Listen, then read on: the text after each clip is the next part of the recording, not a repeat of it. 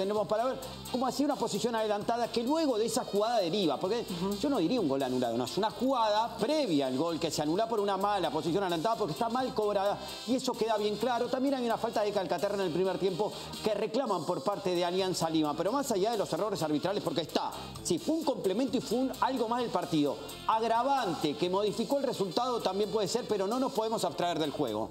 Alianza ganó como casi todo el año, Bruno. 1 a 0 y cuidando Pero- el arco, ¿no? Pero- pero- pero es estrategia. que- claro. Y Cristal que vi, lo vi más cercano. Tengo que, o sea, tengo que hacer un análisis más allá del agravante del árbitro. Cristal que vi, lo vi más cercano al cristal de la Copa, que te dominaba y no te hacía el gol, que el cristal de las últimas fechas, que te dominaba y te hacía dos, tres goles en un tiempo.